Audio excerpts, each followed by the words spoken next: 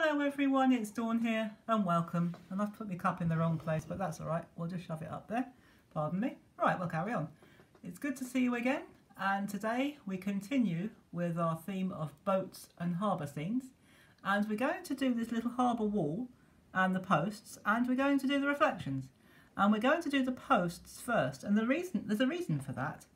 Normally you might think, oh well, let's do the wall first. But we're going to do the posts first so that when we do this wall, it will look like it's coming in front of it.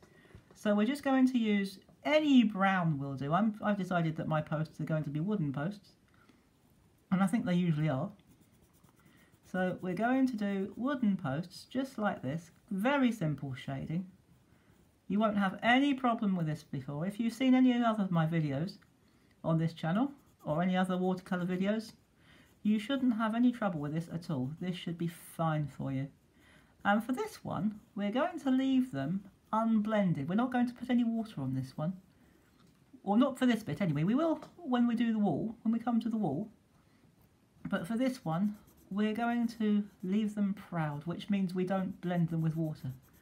We just leave the pigment or the pencil on the actual paper, but we don't blend it. That's called leaving it proud, which I believe is a term that generates or originates from woodwork. So I'm told. I'm sure someone will let me know if that's not right. So anyway, that's what we do. We're going to start with that and that's all we're going to do with the post for now anyway. And then we need two tones of an earth red. I'm going to use Indian red and burnt sienna. But whatever, if you haven't got two tones, just use an ordinary brown and any earth red that you've got. That'll be absolutely fine. We can adapt. And we're going to do the harbour wall next. And I'll let you into a little secret with this in a minute. Well, it's not really a secret, but a tip. Once we've got this first colour on, it doesn't matter which way you do it. As long as you've got two tones, any brown, even if you've got one ordinary brown and one earth brown or reddy brown, that's absolutely fine. Don't worry about it. But I'll let you into a little tip once we've got this first base coat done, or this base coat done we need to make sure that this wall doesn't look like it's floating on the sea because that will look very strange while floating along the harbour. And what we do to avoid that when we get to the base of the harbour wall we use the same pencil but we press on a lot lot harder. So we use more of the tip of the pencil.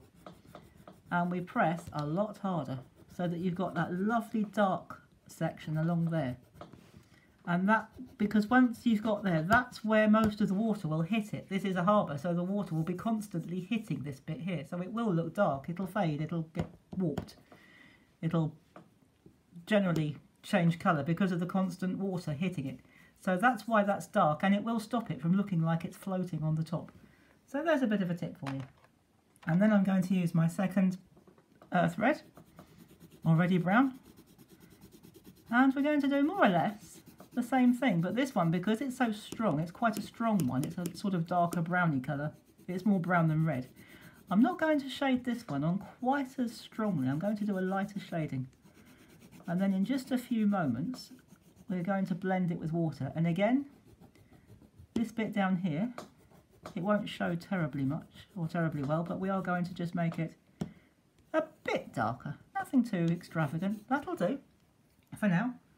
And then I'm going to take a round brush, put some water on and dab off the excess. And we are going to just blend that across. And as you can see, doing it like that blends the two colours together and you get a bit of a texture. So the texture of the paper is showing through, which is what we want with a wall.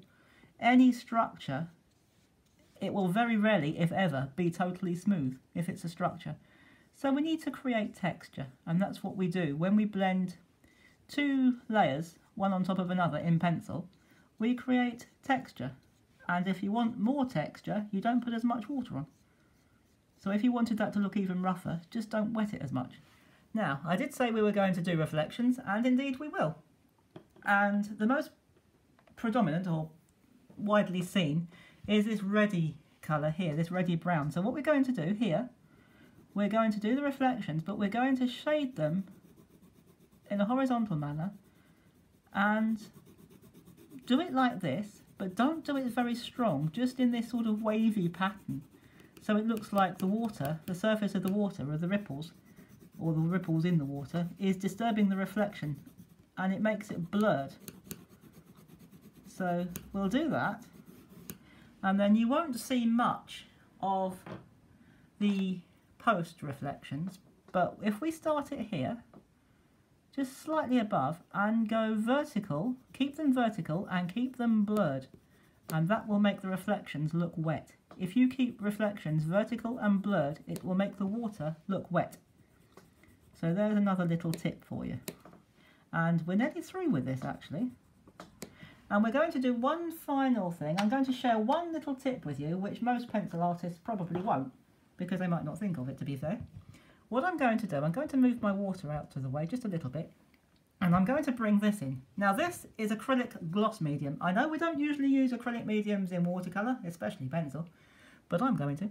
And I'll tell you why. What you do, in fact it's probably a good idea to wet the brush first, just a little, and then just dip your brush in the gloss medium.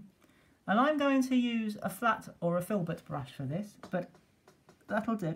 A flat or a filbert is best for this because what we're going to do, we're just going to stroke it across there, not too much at any one time because we might obliterate it or wipe out the pencil and we certainly don't want that.